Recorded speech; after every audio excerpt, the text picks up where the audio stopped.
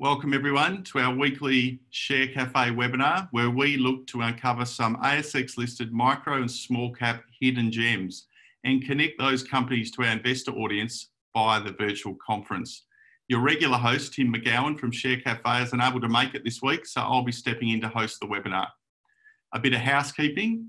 You are able to ask questions of the presenters in writing using the Q&A function at the bottom of the screen. And if you miss any of the presentations, don't stress too much as the webinar is being recorded and you will be able, you will be able to watch it via either sharecafe.com.au early next week or a link will be sent to you. The webinar has a real resources feel to it this week and we believe we've secured four exciting resources stories for your as your presenters. Each presenter will present for approximately 10 minutes and then we will have question and answer time. So please use the Q&A function available to you to ask questions of the presenters. Without further delay, I'd like to introduce Andrew Penkethman, MD and CEO of Ardea Resources, ASX code ARL. Andrew, over to you. Hi, Dave. Thanks for the introduction and yeah, really good to be here today. I'm just going to provide an update on ASX listed Ardea resources and launch straight into the presentation. Next slide, please. And again, great. So just to cover off summary on Ardea, all of our projects are located, located here in Western Australia. That's a deliberate strategy. We, we believe Western Australia is at the forefront of safety, operating and environmental procedures it's the best jurisdiction to be located in. Our flagship Kalgoorlie Nickel Project is the largest nickel cobalt resource in the developed world. And in addition to the very large resource base, we've got an extensive tenure position covering over 5,000 square kilometres and a lot of large crustal scale structures cut through those tenements and they're also prospective for gold and nickel sulfides. So today I'll be giving you a quick update on the significant nickel cobalt resource base and saying a bit more about the work we've been doing on the gold exploration side. Next slide, please. Where are our projects located? Um, our core Kalgoorlie nickel projects are all within a 100 kilometre radius of the city of Kalgoorlie Boulder, which is the heart of the goldfields. Uh, we've got extensive infrastructure to our tenements and around our tenements, including road, rail, um, power, water in some instances, and uh, the gas pipeline.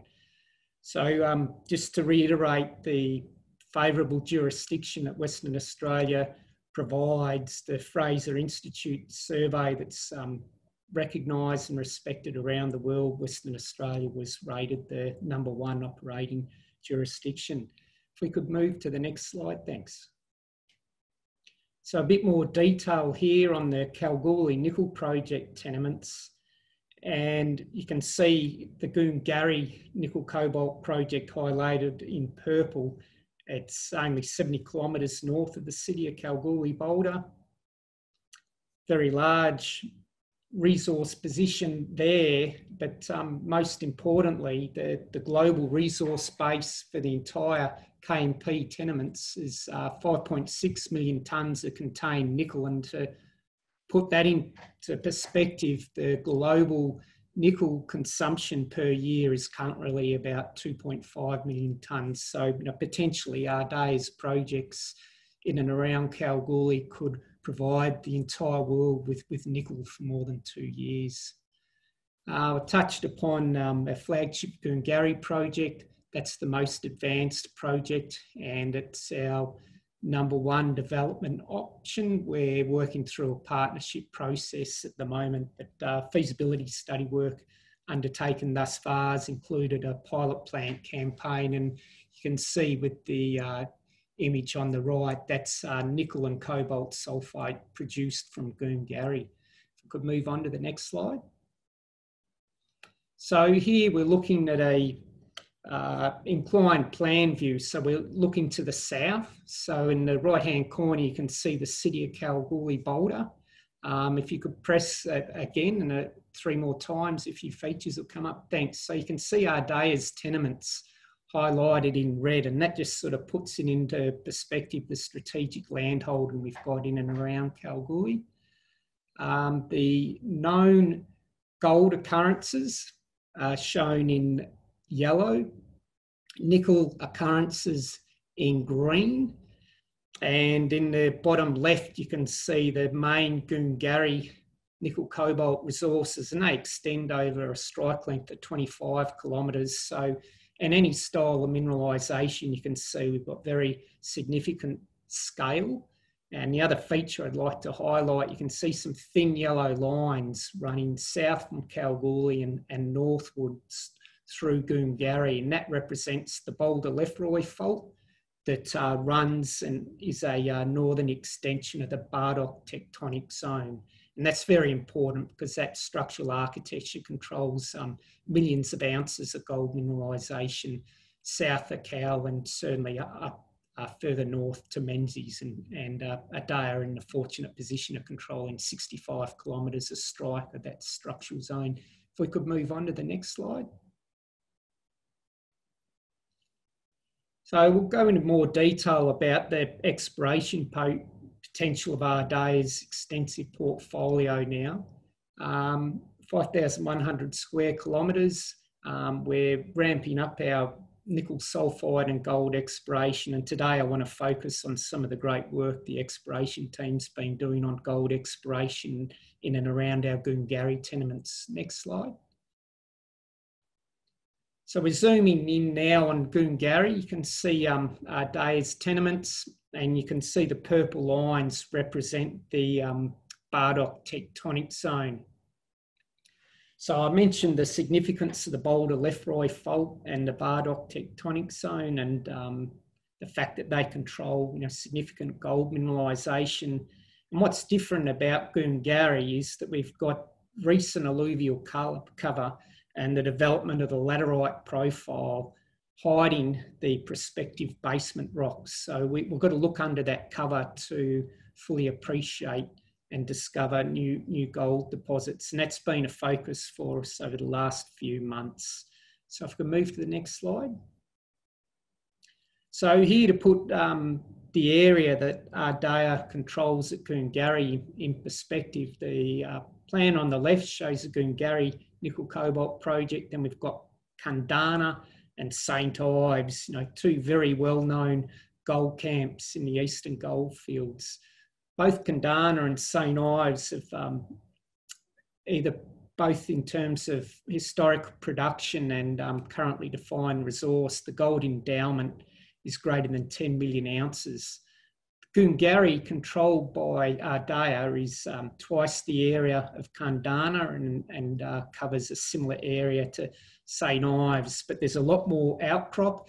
Exploration um, historically has been far greater at Kundana and St Ives. Um, for at least the last 20 years, the focus at Goongarrie has been on nickel cobalt resource definition and exploration. Um, we're really just getting into the gold potential now. So if we can move on to the next slide.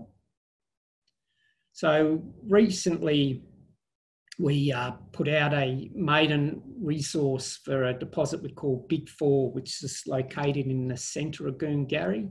Uh, drilling completed in January got some very encouraging intercepts, such as 18 metres at 3.4 grams per tonne, 14 metres at 2.4, and 20 metres at 2.9. And we've defined a modest resource within five metres of surface. But um, Goongarrie was found by historical prospectors and cropped out at surface, but the majority of Ardea's tenure is covered by that younger cover and the laterite profile. So the maiden resource at Big Four, it's a modest start, but it's proof of concept of the gold mineralisation potential at Goongarrie. Next slide, please.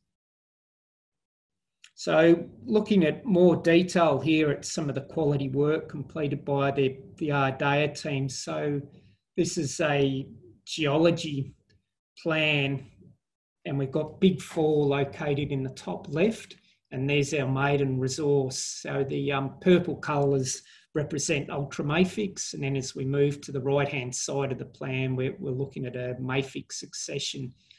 And there's multiple drill hole results with anomalous gold within them. And Ardea is continuing to define literally well over 100 gold targets. And we're setting about systematically exploring those with Big Four, the first cab off the rank. Um, we've got a lot of more work to do, but it's a timely reminder to the market of you know the quality tenure our Ardea have and the sound technical work the team's completing. Next slide. So here to put it in perspective, we've got the Geological Survey of Western Australia, uh, 1 is to 100,000 mapping, and this is a fantastic data set and Western Australia provides um, public domain data that is globally competitive. But Ardea then take this quality work from GSWA and you look at the image on the right and we collect our own geophysical data, so it be airborne magnetics um, and other geophysical techniques. We'll spend a lot of time and effort going through the historical records and taking a lot of information that's on um, old PDFs and just old paper reports and capturing that digitally and then doing our own detailed interpretation. So we've taken the da- quality data that we started with and taken it to the next level. And within the Ardea team, we've got decades of um, gold experience. You know, most of us started their career in Western Australia gold, such as myself, and we're looking at building upon uh, that skill and that base to unlock the full potential of Ardea's tenements. Uh, next slide, please. So this is drilling that's taking place at Goongarrie at the moment and what we call a regolith, that, that's all the, the piles of drill samples we see.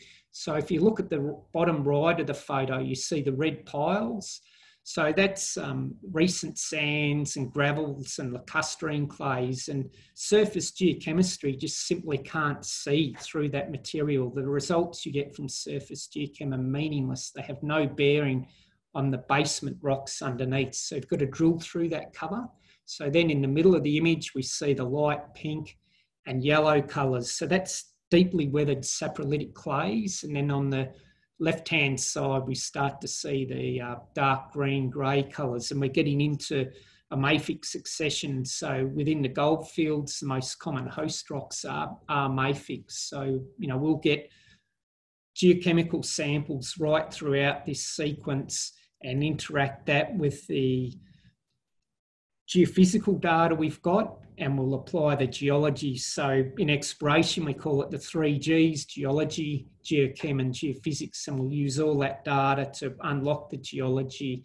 And, uh, you know, in my mind, it's just going to lead to more exploration success. You know, we've got the projects and, and people. Next slide, please. So just in closing, we've touched upon the globally significant resource base that Ardea have for nickel and cobalt. We're very fortunate to have all our projects in and around Kalgoorlie so we can leverage off that infrastructure. We're looking for a strategic partner to develop our globally significant nickel cobalt resources, 100% offtakes available. We're very much leveraged to the thematic of modern day minerals for growing society and take part in electric vehicle revolution. But what I wanted to really highlight today is don't forget about the prospectivity of Ardea's very large strategic landholding. Uh, the gold story is just unfolding with the maiden Big Four resource, and we're also working up a nickel sulfide exploration pipeline. So we've got strong news flow expected throughout the rest of this year. Thanks very much, David. Thanks, Andrew. A great presentation. We always love a project that's close to home, um, particularly for me, being a Kalgoorlie boy historically. Um, a couple of questions have come in. In terms of strategic partnership and that process, obviously you can't disclose uh, how the status of that is going and, and uh, how advanced or not you are, but can you give some guidance around what a strategic partner looks like, how involved groups are in, in, in talking to the company? Absolutely. So, partnership process has been led by KPMG, who've been assisting Ardea, and we're, we're talking to a range of groups from uh, large scale miners through to vehicle manufacturers through to the builders of these battery gigafactories.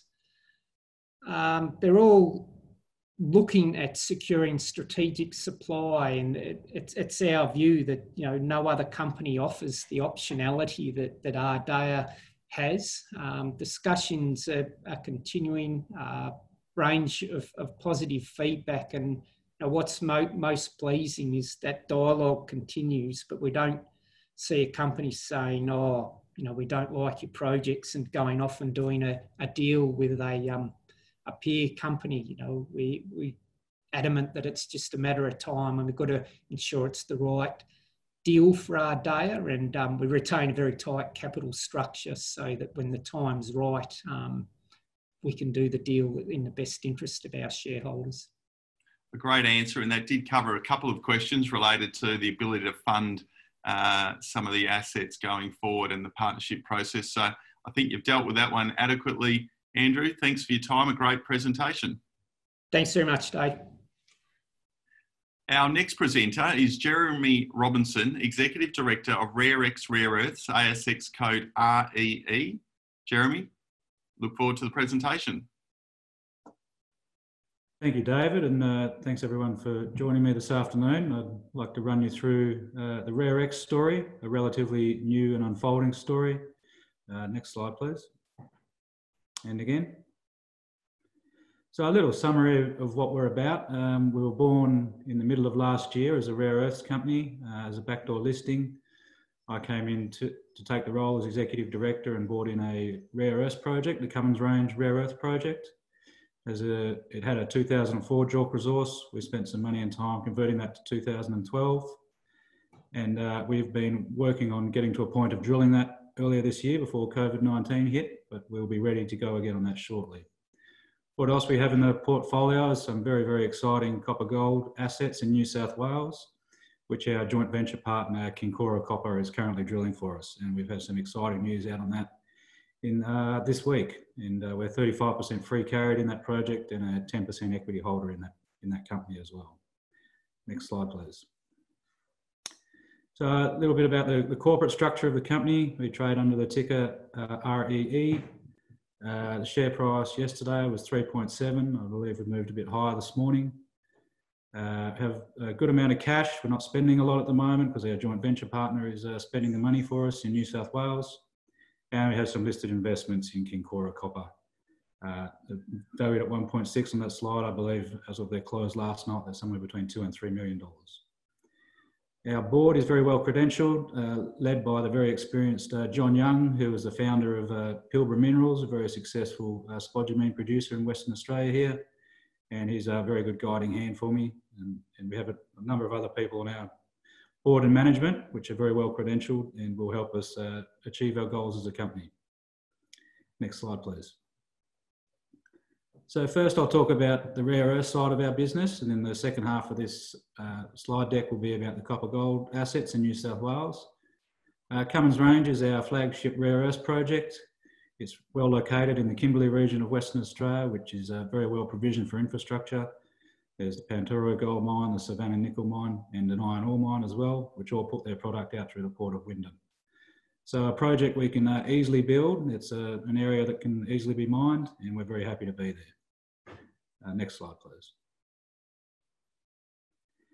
So this is the project that we bought into the company in the middle of last year. Uh, we spent some money converting the resource uh, to JORC 2012, a 13 million tonne resource at 1.13% TREO. The style of the deposit is the same as the Mount Weld deposit, which is uh, famously owned by Lynas and one of two only operating rare earth mines in the world. Uh, it's a weathered carbonatite we have uh, the same mineralogy as Mount Weld, and we have the same sort of breakdown of rare earths, if you will, in terms of NdPr content. And the good thing about these style of deposits is they come to surface, they're very easy, free dig style of deposits with very low strip ratios. So the mining of this deposit will, will not be an issue for us. Next slide, please. So late last year, we uh, went out there and uh, did some passive seismic work to define the, the, depth of weathering, where the rare earth should be accumulating in these channels, if you will, in the weathering profile. And we've managed to deliver a number of new targets that we need to get out there and drill.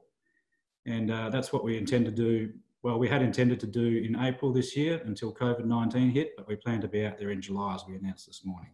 So, next slide, please. So, this is the program that we announced this morning, which we want to get out on the ground at Cummins Range again. And we intend to be out there in July. It's a four pronged attack on this project. Uh, we, we intend to spend some money increasing the confidence of the resource from inferred to indicated, especially in the high grade portion. We also need to get some sample uh, for metallurgy to take to our potential customers down the line. And we also plan to spend a bit of money on growing the resource and making significant new discoveries within the carbonatite itself. So July is our target time to get out there, and we're very excited to get out there again. Uh, next slide, please. So this is the strategy that differentiates us a bit from the other rare earth companies out there you might be familiar if you've been around the rare earth space, but a lot of these companies have very large capital spends in the order of half a billion to a billion. And that's because they intend to go all the way to final product or intermediate product. Our strategy is to produce a high grade monazite concentrate, which has only been capable to be done in the last couple of years as China has moved from a, from a self sufficient monazite production base to a production base that, um, that relies on offshore product uh, to come into the country and, and fill their refineries and make the rare earth oxide. So we believe we can build a, a simple uh, concentrator there, something very familiar to the base metal business. And we believe a 250,000 tonne type operation could, should cost no more than 25 to 30 million Aussie. So it's a strategy that can be achieved for a junior. Uh, we don't have large capex requirements and something that we can get on with. Next slide, please. Uh, this is another little project we picked up with the help of our geophysicist. So located about 80 kilometres north of Mount Weld. It looks like a dead ringer for Mount Weld in the geophysics, and it's never had a hole in it. Uh, as soon as it's granted in the coming months, we plan to get out there with an air core, air core rig and do some cheap exploration. So we'll know very quickly what we've got there, and it's an exciting project for us. Uh, next slide, please. So the other side of the business is the New South Wales copper gold assets, which has been getting a bit of attention real, uh, lately. And the reason it's getting a lot of attention is because our joint venture partner there, Kincora Copper, has been drilling and getting some very nice visuals on the initial drilling. This is a deal we did at the start of the year uh, with a very well credentialed team at uh, Kincora Copper, led by uh, John Holliday, who was a, the principal discoverer of Cadia and actually had this Trundle project uh, himself when he was at Newcrest and was unfinished business for him.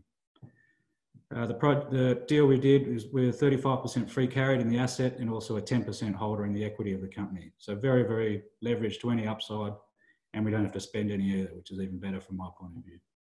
Next slide, please.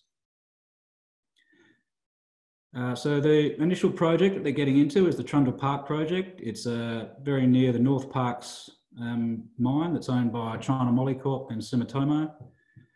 Uh, it's a project that has had some very illustrious owners in the past, uh, Newcrest and uh, High Powered Exploration, which is one of Robert Friedland's companies. It has had some historic drilling on it before, but all very shallow, and it's got significant mineralisation in those shallow holes. Uh, next slide, please. So what are we looking for here? Um, we're looking for elephants, basically, very, very big deposits, world-class projects uh, that ultimately end up being owned by majors. Uh, Cadia Ridgeway has been the backbone of Newcrest for many, many years. North Parks has been a workhorse originally for Rio and now moved on to China Moly. And Boda, the exciting discovery that's been made by Alkane uh, in the belt. Uh, it's really been the discovery by Alkane at Boda, which has uh, lifted the whole belt back into prominence. And it's uh, something we hope to emanate, um, emulate with our joint venture partner, Kincora Copper. Next slide, please. So Trundle, Trundle Park project is where we've uh, recently announced the results of our first hole. Um, the Kincora team have been out there and completed a 680 metre hole. They have intersected mineralisation throughout the hole.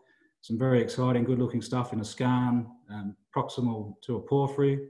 The porphyry itself uh, at this stage looks mineralised and we keenly await assays on that.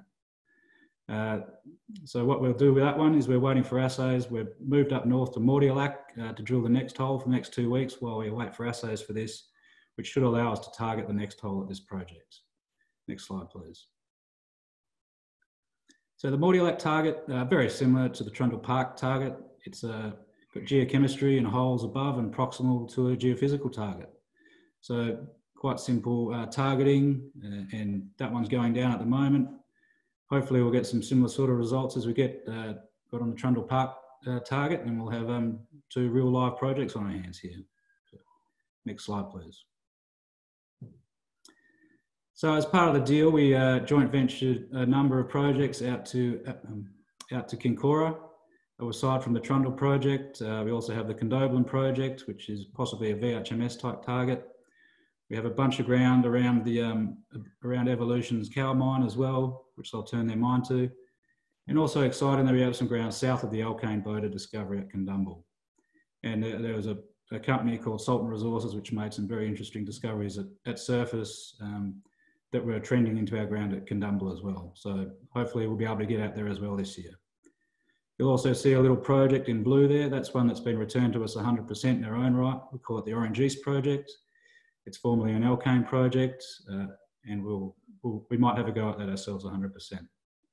Uh, next slide, please. So this is the East project. I thought I'd just touch on this, seeing it's 100% owned ourselves. It's uh, about 12 kilometres north of the McPhillamys mine, uh, discovered by Newmont and Alkane some 10, 15 years ago, and currently being developed by Regis Resources. It has a very similar um, signature to that of McPhillamys. Uh, it has geochemistry, it's in the right rocks, and it has a high, high K radiometric uh, anomaly as well. We've just been given that tenement back, and we'll have to do some negotiation to get on the ground, which we can do. And we plan to be out there probably drilling in our own right this year unless we get a very good offer for the project. So that's something we're excited to have back and come into our stable. Uh, next slide, please. So that's the company uh, in a very quick uh, rundown. We're set up as a rare earths company with some exciting projects there. We believe firmly in the thematic of rare earths uh, as part of the EV revolution, both in electric vehicles and, and wind power as well. Uh, we're due to get out there drilling that in the next couple of months. And uh, while that's going on, our joint venture partner is making discoveries for us in New South Wales, which is uh, very exciting for us as well. So lots of news for the company going forward. We're well funded um, and we're well credentialed. So we believe we can grow this company into something very big in a short period of time. So thanks for that. If you've got any questions, I'm, I'm here to take them. Jeremy, great presentation and clearly a, uh, a sound strategy. Um, how have you found um, moving into what was a known area with a fresh set of eyes and a fresh set of technology, what advantages um, do you see and did you see coming into the project, particularly in WA? Oh, look, uh, the, the, main the main uh, thing that's developed in the rare earths business is the metallurgy uh, and also the um, the marketing of the product as well. In the last few years, it's only been the last few years you've been able to sell a monazite concentrate into China, which is what our whole strategy is based on and also a lot is a lot is advanced in the world of uh, metallurgy as well in terms of floating uh, um, floating off the uh, the monazite out of the uh, raw ore as well. So they're the two things we, we think will make a difference to this project that other other parties haven't been able to achieve. And in terms of your East Coast projects, apart from the one 100% owned, how pleasing is it to see results coming out with uh, little or no expenditure and leverage to upside? Oh, look, it's, it's absolutely fantastic. Uh, it was one of the things in doing the deal I was very excited about was the 35% free carry. I haven't seen a 35% free carry um, as long as I can remember. So it's absolute upside for us at, at no expense. So it's uh, fantastic from my point of view. And are you able to share? We do have a question come in relate, relating to monazite. I hope I pronounced that, that correctly. Um, do you have an understanding of what the market looks like, or are you creating a market for that product? Uh, no, we're working uh, extensively with our um, strategic partner, Talaxis Group, which is a, um, a, subsidiary of Noble Group. And they have been mandated by Chinalco, which is one of the largest SOEs in China, to go out and get monazite product from, from elsewhere in the world to feed into their refineries. So it's, it's sort of a market that has existed up until recently, right up until now, but it's just exploding in the last sort of two years as China really needs more product as it can't get it from its own deposits. So, Jeremy, great answer. Uh, company clearly doing well, hit the ground running literally uh, very quickly since listing. Congratulations. No, thank you. Uh, been a very exciting uh, start to life, and we look forward to the future. Great. I'd now like to welcome our next presenter, Paul Roberts, MD of Predictive Discovery, ASX code PDI. Paul, over to you. Thank you, David. Uh, hello, everybody. Uh, thank you for coming along and, and listening uh, to the predictive story. Um, so I'm here to talk about uh, uh, what we regard as a very exciting new gold discovery, a Greenfields gold discovery in the, uh, the Siguiri Basin of Guinea in West Africa. next slide. And the next slide. Right, so Predictive has, has been operating in West Africa for a decade. We're a, we're a, a, gold exploration company. We, we are actually focused on greenfields discovery and we have a system uh, that we use to uh, identify good targets. Uh, and uh, over the last 10 years, we've done exploration in, in four countries in West Africa. And we have a very large portfolio in uh, Cote d'Ivoire, particularly, and also in Burkina Faso. But in those areas, um, we're operating on joint ventures. Uh, there is some, there have been some quite recent, uh, very good drill results coming out of the uh, joint venture with Resolute Mining in Cote d'Ivoire. Um, but from a market point of view and, and uh, from the, the change that's happened in the company, which is uh, really quite extraordinary in the last six weeks, uh, it's all down to a discovery that we've made in Guinea. in Guinea, we've been, we've been there for um, not a very long time. Uh, and uh, and out of that, we've we've got this Kaninko Gold project, which I'm going to describe to you. Uh, we have only six weeks or so ago, we we announced the acquisition of the Kundian project, which is also shown on that map. Uh, and uh, in a very highly mineralized area. We're certainly looking forward to exploring that. But in terms of, of what's happening with us, money that we're raising, uh, and the company's focus, uh, Kaninko is, is plainly the main game. Next slide. Um, so actually, I might just start, given some of you might be watching what's happening to Predictive today, uh, to say that we've we've had some uh, quite extraordinary days, and today seems to be another quite extraordinary day, and uh, on the market at least for Predictive. Um, uh, but what uh, really got the ball rolling was an announcement of the discovery of the Kaninko gold discovery in Guinea, and uh, the share price went up 733% uh, in one day, which was the lar- largest day of single day gain of any stock on the ASX in the past three years. Um, and we're seeing a quite enormous day today as well. exactly why is slightly mysterious to me, I have to say. Um, so we've got uh, currently 636 million shares uh, on issue. Uh, we've got, uh, we're in the, in the midst of a capital raising to raise a further 9 million, that's 6.9 uh, from private placement uh, to sophisticated investors and, and another 2.1 from rights issue. Uh, that was done at five cents. Um, so we, we don't think there's going to be uh, any difficulty completing that capital raising. It is subject to an extraordinary general meeting vote on the 10th of June. That is the private placement and the um, the rights issue closes on the 9th of June. So by the time we get to mid-June, uh, hopefully that $9 million will be in the bank and that will enable us to push forward, particularly on this Kaninko discovery. Um, the, the market capitalisation is out of date. Uh, we seem to have, I'm not quite sure exactly where we are right now, but we seem to have, have hit 10 cents today. Whether we stay there or not, I'm not sure. Um, but uh, obviously, uh, very exciting things happening on the market uh, with predictive. Next slide, please. Okay, so this is a, a geological map of uh, northeastern Guinea. And the yellow and, and the green areas you see uh, in the top of the map are the Siguiri Basin, and then, and then we're on, on the margin of granites and, uh, and Archean geology to the west and south. Uh, you can see our ground position there. That's about 900 square kilometres of, uh, of ground that we currently hold.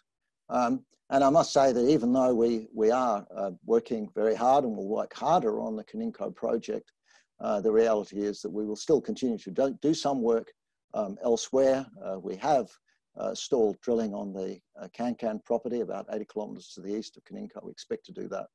Um, so there will be more work happening uh, across Guinea, and obviously we're hopeful for more discoveries there, and we've got a very good start.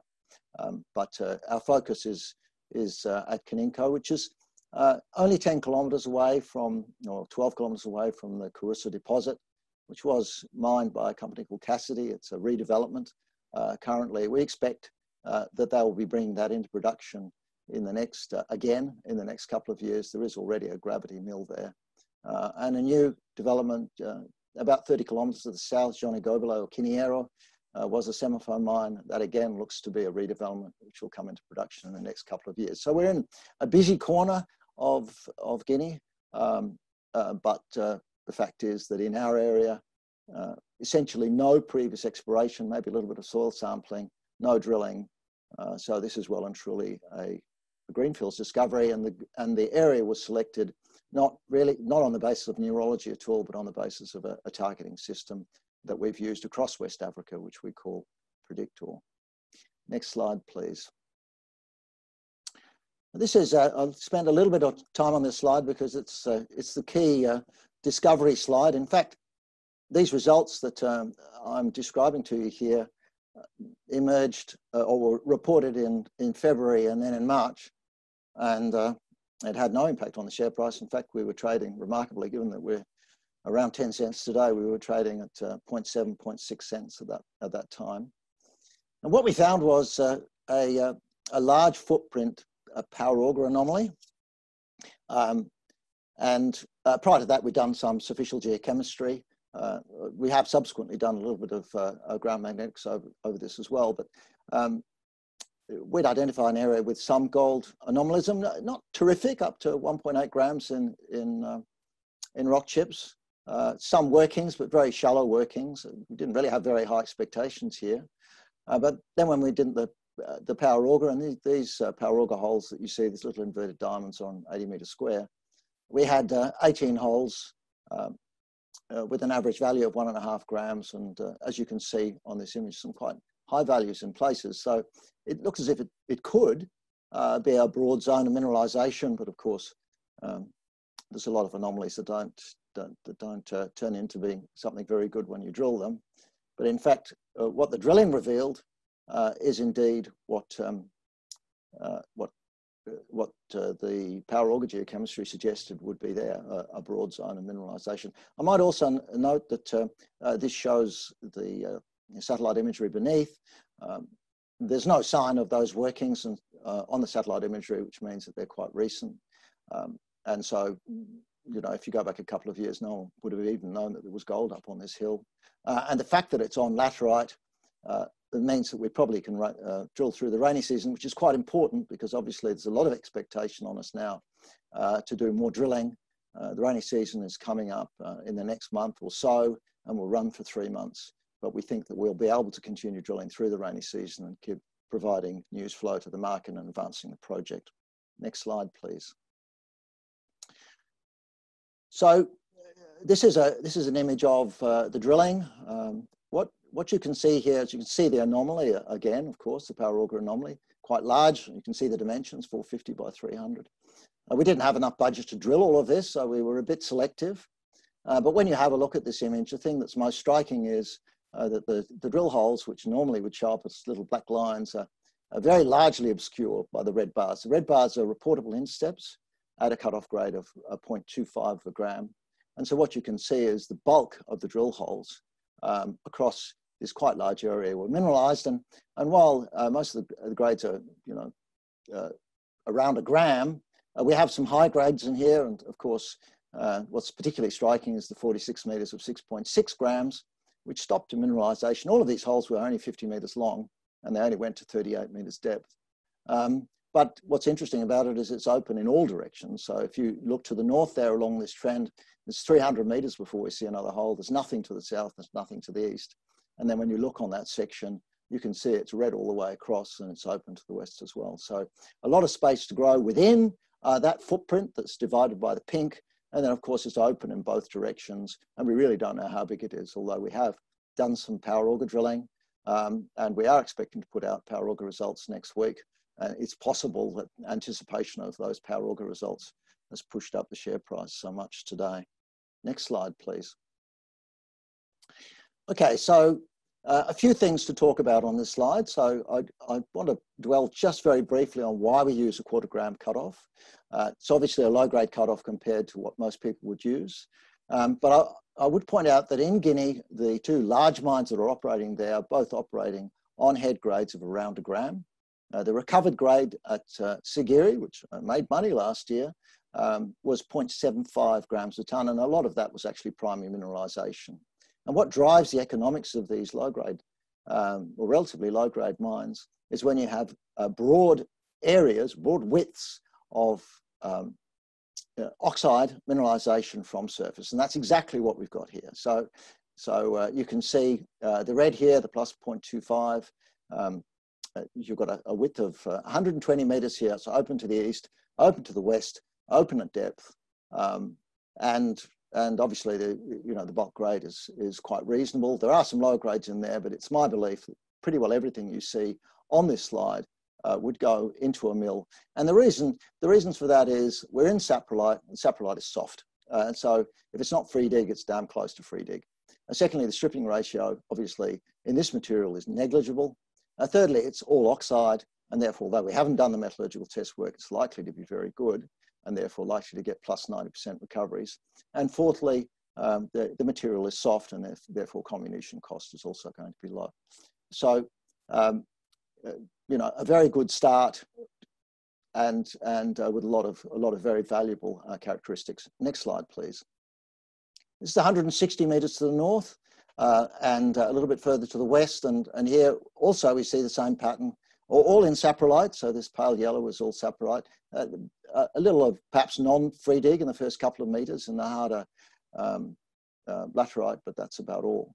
And, and uh, open to the east, of course, you can see this uh, vertical hole to the east, the power auger hole uh, that um, has not yet, yet been tested. So we can see a, a width here of 50 meters or so, and, and quite possibly um, it's going to be considerably greater. And then to the next slide, just the, the last of the sections I'm going to show you. So we, we managed to put in five holes here. Again, that's practically all red. Some of the grades are, you know, admittedly a, a little bit skinny, um, but uh, again, practically all of what you see is, is likely to go, all of the red stuff at least, is likely to go into a mill and, and this drilling is just down to 38 meters. We are, we are um, uh, breaching just slightly into saprock here.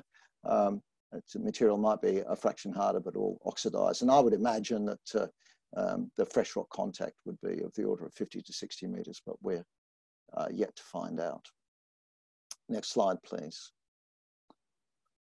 Okay, so this, this is one system, the Northeast Bankan system. We think the gold is relatively fine here. We have, after we got the good results, we went to the highest grade samples and panned some gold out, but it's generally uh, very fine even in the high grades.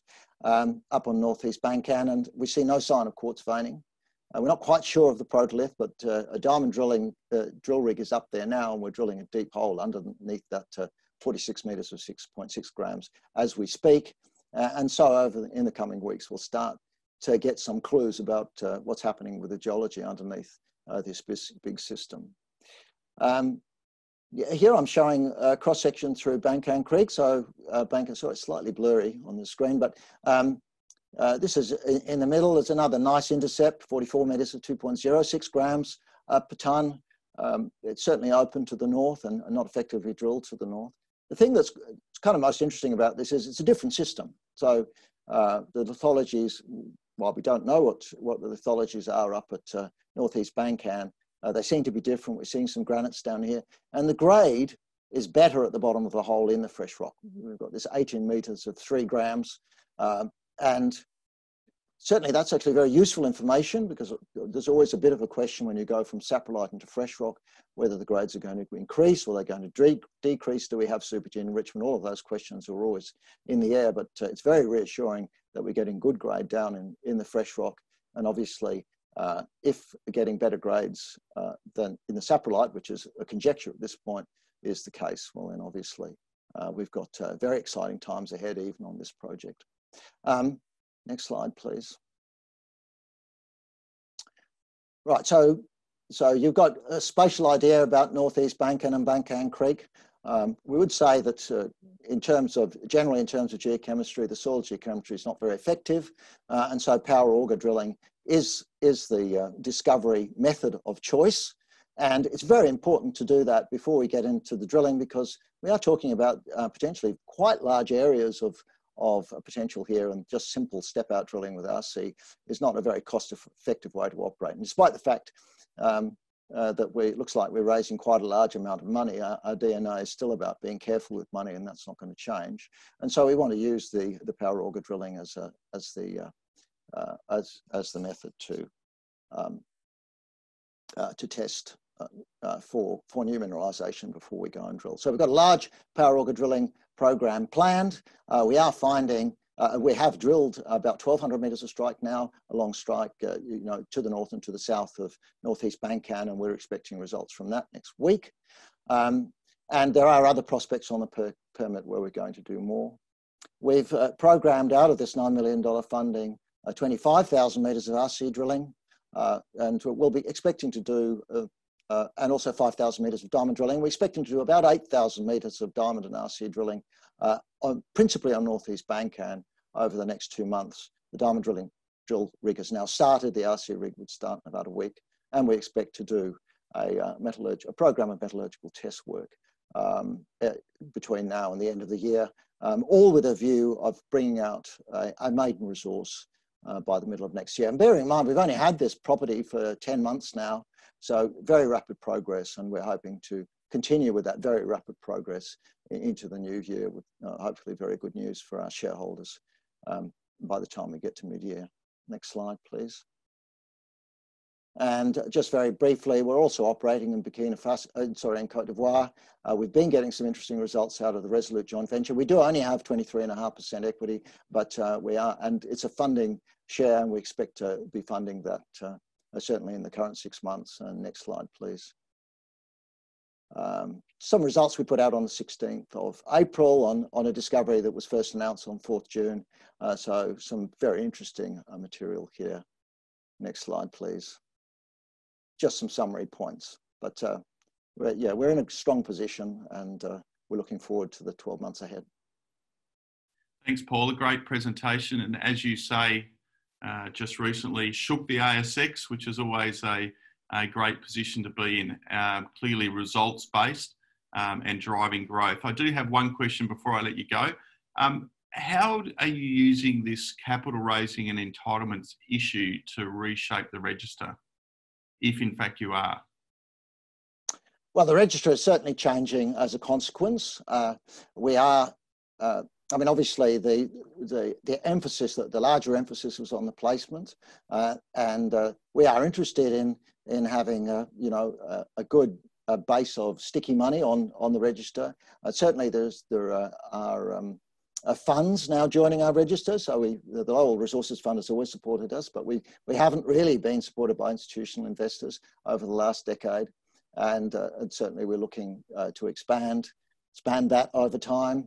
Uh, because we think as we drive this project forward and, and on the assumption based on initial results, a fair assumption that we're going to drive this forward to a development project. Uh, we, we're certainly interested in having those, uh, those larger shareholders on board to help us support us as we take this through the next steps. Paul, a great presentation. I should give a shout out to Ben and the team of Hartley's, who I know are assisting you with your capital raising and have done a fantastic job. So, Paul, uh, exciting times ahead. Thanks for your time. Thank you very much, David. I'd like to now introduce our next presenter, Justin Brown, MD of Element 25, ASX code E25. Justin, over to you. Thanks very much, David. So Element 25 is a little different uh, to the other preceding three companies who all gave great presentations, but I think we can hold our own. We're basically a uh, WA-focused manganese developer um, and developing a very large 100% uh, owned manganese asset in, in Western Australia. Next slide, please, David and again. Snapshot of the company, we uh, have sort of just transitioned from being a micro cap to something a little more than that with a jump in the share price. Uh, we doubled on, on the day of the release of our pre-feasibility study. So we're well on our way to developer status. Um, we've got uh, cash reserves of about $5 million and an EV of something around $30 million and, and hopefully trending north. Um, next slide, please, David. Very experienced owners team, uh, plus 100 years combined experience in mining and processing, all with skin in the game and all with uh, strong credentials in, in what we're trying to achieve with our project. Um, next slide, please, David. And that's about developing what we regard as a world-class manganese resource. Um, it's Australia's largest onshore manganese resource. Uh, we call it Butcherbird. Next slide, please. And manganese, for those, just really quick sort of snapshot of manganese for those that aren't familiar with it, it's basically a, a steel ingredient. There's an emerging market in the battery space. It's used in uh, NMC lithium ion batteries, and obviously that should grow uh, as that demand grows for that, that, that EV space. But predominantly, it's a steel story, and um, that's where our initial product will go. Next slide, please. So what is Butcherbird? So Butcherbird is located about 130 kilometres south of the town of Newman. Um, it's a very large resource, currently drilled out to a JORC resource of 260 million tonnes of manganese ore in measured, indicated, inferred categories. That's recently been converted to a maiden proved and probable reserve of 50 million tonnes. And um, it basically sits right on top of the uh, bitumen highway and the Goldfields gas pipeline, which is great infrastructure advantages when you're developing a project in Western Australia, which often suffers from the tyranny of distance. It's 100% owned by us. Um, and as one of the, the uh, other speakers pointed out, WA is ranked as the number one mining investment jurisdiction globally, according to the Fraser Institute's latest publication. Um, and it's a long life asset. So we're currently working on a 42 year mine life, but that's only going to utilize about 20% of the resource. So this thing, when we get it up, will be going for a long time. Next slide, please. Just a bit of a bird's eye view. Uh, the uh, resources that we're focusing our development activities on are located in the coloured areas. We've got red as measured, yellow indicated, and green as the inferred areas. This represents about a third or perhaps touch over a third of the global resource. There's a number of satellite deposits that sit outside this, but this is the area that the mining lease application that you can see in red uh, is situated at, and this is where our PFS focused in terms of our stage one development plans. And basically, it, this, it, it, offers you know very simple, low cost manganese units for whatever uh, end use we, we want to we want to pursue. Right now, we're pursuing an all, all concentrate uh, operation. And if you go to the next slide, you'll see that uh, it's, it's a really simple beast. So it's a flat lying, outcropping uh, supergene manganese ore body. It extends for several kilometres along strike. Uh, and at the first 30 years of production sit above the water table. It's free dig. There's no uh, drill and blast required. It's got a life of mine strip ratio of about 0.3 to 1. Um, and it's, it's really you just start mining ore straight from surface and you, you do it with very simple kit. Next slide, please, David. And so I guess what we, have got some, some larger plans to, um, and we've been developing a, a very um, innovative, uh, efficient leach process. And we've, we've done quite a lot of work on, on a high purity manganese solution for this ore body, um, which will be best in class when we get it up. But what we've done for the, for the meantime is to look at a, a, much smaller capital cost, low, uh, sort of low, cop, low capex, competitive opex, uh, concentrate exports, startup stage that will get cash flow coming into the company's balance sheet and allow us to, to uh, ramp up that larger development over time. Next slide, please, David.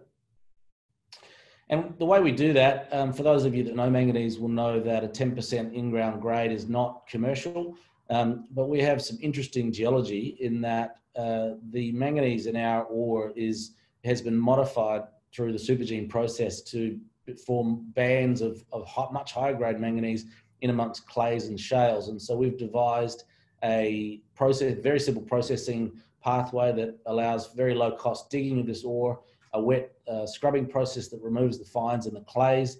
And then we've, we've done quite a lot of work and shown that optical ore sorting very efficiently removes the red shale material from the black manganese and leaves us with our uh, marketable concentrate that's, that's going to go to market um, through Port Hedland. Next slide, please. So just a bit more detail on the flow sheet. It, it really is just a, just a few bits of kit um, that you would all be familiar with. I'm sure if you if you follow mining, uh, it's it's basically a dozer to rip and a loader to, to dig the ore. A, pretty simple crushing uh, exercise followed by some dry screening. wet attrition, and then the optical ore sorting. So none of those bits of kit are anything other than routine and uh, they come off the shelf effectively and you bolt them together and away you go. And that allows us to produce a what we call a medium grade concentrate with favorable impurity levels, uh, most of which are extremely low. Um, and it also has some quite interesting properties that may uh, make it attractive for premium end users as well. Next slide, please. And I guess the crux of it all. So once having having done the metallurgy, we we did did the work to wrap a, an economic model economic model around it. Obviously, that included a, a, a pit optimization, uh, costings of, of mining and processing and logistics. Um, and what what it turned out was with only about $15 million of capital, we can generate an operation that has a 42 year mine life and generates about $30 million of free cash per year with outstanding NPVs of and, and IRRs of uh, 283 million and 223% respectively with a simple payback of six months. And if you if you follow uh, mining economics, that's an incredible result. Um, and hence the uh, the share price has reacted accordingly. And we doubled our market cap in, in pretty much one session, and, and hopefully we can uh, continue that uptrend. Um, this is sort of, uh, I guess, a startup stage. It only utilizes about 20% of the total resource, so you don't have to be um, a mathematician to work out that you can pretty easily ramp this up, uh, possibly in, in year two or three, depending on how the uh, manganese demand side goes, which we have a pretty bullish outlook on. And look, we've used relatively conservative pricing assumptions and we've been uh, very, you know, it's a very detailed study, so our costs are well understood. And we think these numbers are very robust indeed. And it's, uh, you know, outstanding result from the team. If you go to the next slide, please. And if you look at the, the sensitivities, you can see that it's it's very resilient. So even even uh, you know with worst case assumptions, our NPV doesn't drift below 150 or only just below 150 million. So uh, even if you get a few headwinds, and we may well get a few tailwinds, if you look at the current spot manganese price, it's significantly above our price assumptions. So you know there'll be give and takes here, but I think um, you can see from that, that that it's pretty resilient overall. Next slide, please, Dave.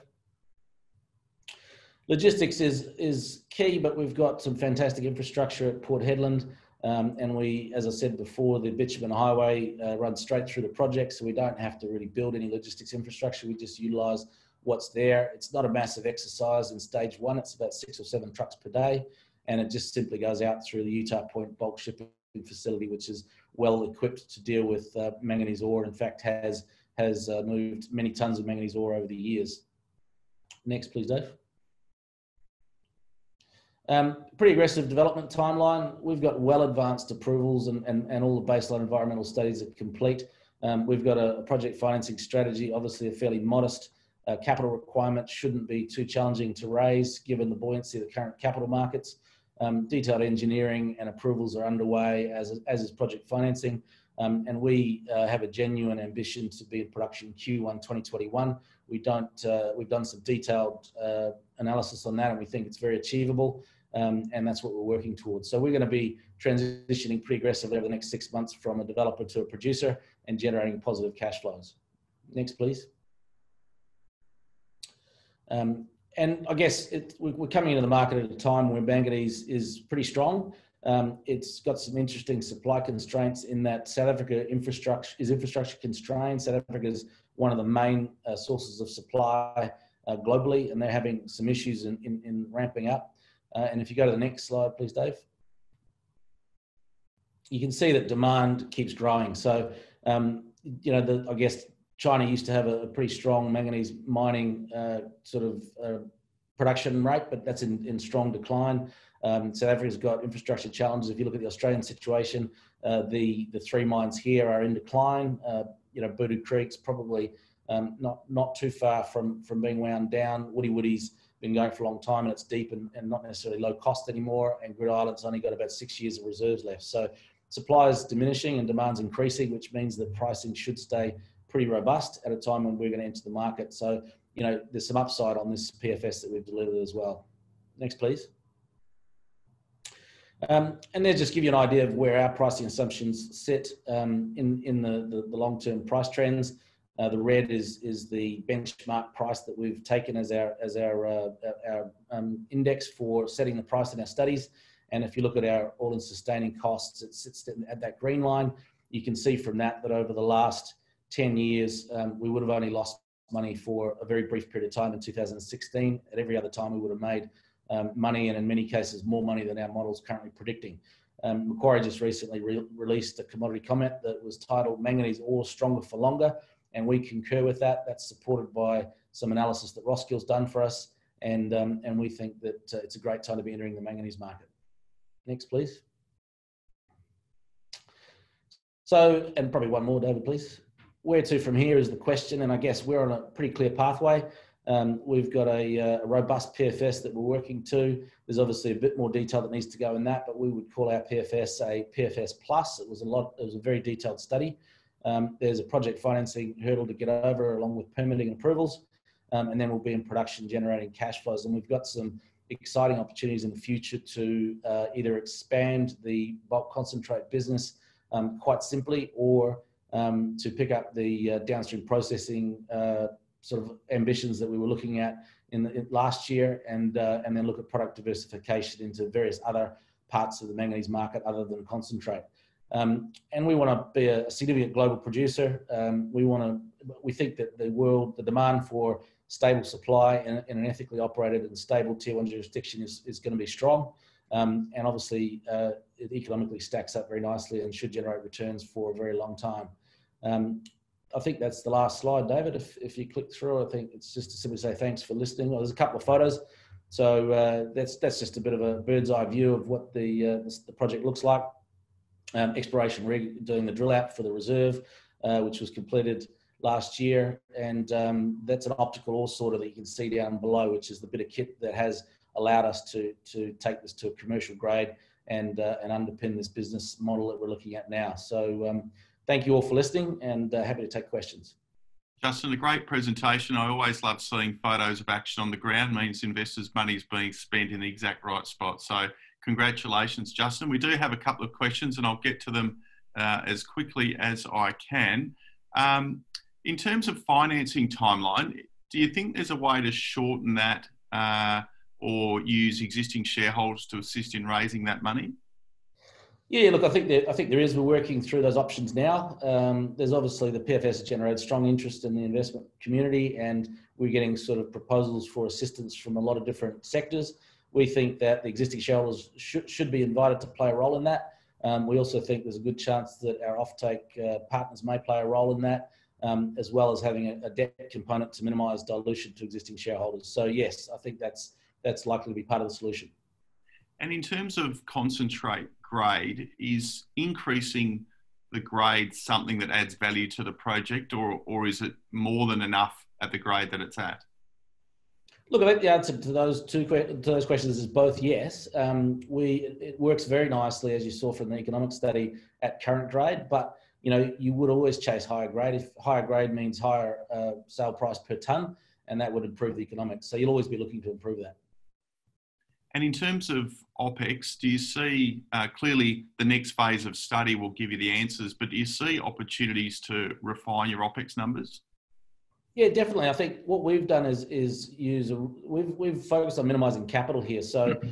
um, you know, minimising capital means you're using mobile kit, skid mounted kit, and potentially um, you know slightly higher labour intensities and and maintenance intensities. So there are opportunities either either before startup to slightly tweak those designs or uh, post post sort of production uh, startup turn some of that cash flow back into the project to bring those operating costs right down. Although in saying that, we you know we're somewhere around the bottom third of, of operating costs, so we're actually sitting in a pretty nice position to get going, and we don't want to necessarily delay for the sake of, of chasing every sort of you know half dollar. I mean, if we can find big savings, we'll chase them, but otherwise, it's get up and make cash like you say, it's all about making that cash. That's what the investors are always focused on. So, congratulations on the work done today, Justin, and we look forward to following uh, what will be a very quick progress, I suggest. Justin, thanks, thanks for your presentation. Cheers. As I mentioned, everybody, um, the copies of these presentations will be on the Share Cafe website early next week, and also the individual presentations will be on the company page within the Share Cafe website. That does bring to a close our Share Cafe webinar for today. I'd like to thank you for joining us. Uh, I'd like to thank the pre presenters for providing such a great insight into their respective businesses. Remember, do your own research and where appropriate, seek professional advice prior to making investment decisions. We look forward to seeing you next week where we have another great lineup of companies and we will be keeping you informed of those companies as they're announced. Thanks and have a great day.